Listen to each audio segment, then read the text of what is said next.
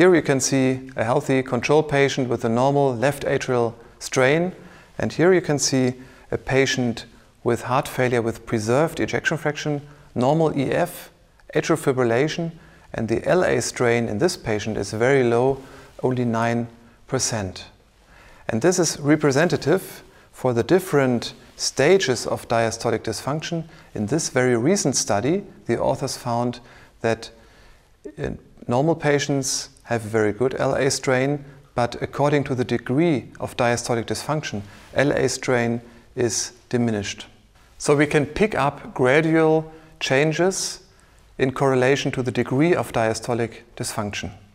But the question is, can we even pick up changes in patients who are only at risk for diastolic dysfunction?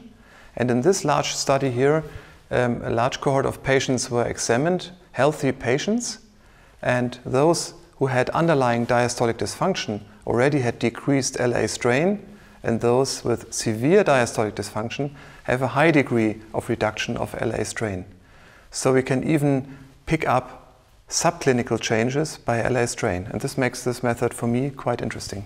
Yeah, I think that's true because I think I've seen some data that shared the thought that left atrial strain reduction correlated with an increase in left ventricular end diastolic pressure much greater than the relationship of left ventricular end diastolic pressure to the traditional E over E prime ratio. And maybe this is a lot easier to do because it's only one parameter and we're measuring just those two basal segments. So should we be avoiding doing the E over E prime and just looking at left atrial strain or, or should we continue with traditional diastolic function evaluation until we learn more about this left atrial strain? I think we have to stick to the traditional parameters, but maybe incorporate this new parameter. And recently we have compared invasive hemodynamic measurements, wedge pressure measurements in patients in sinus rhythm and atrial fibrillation to LA strain.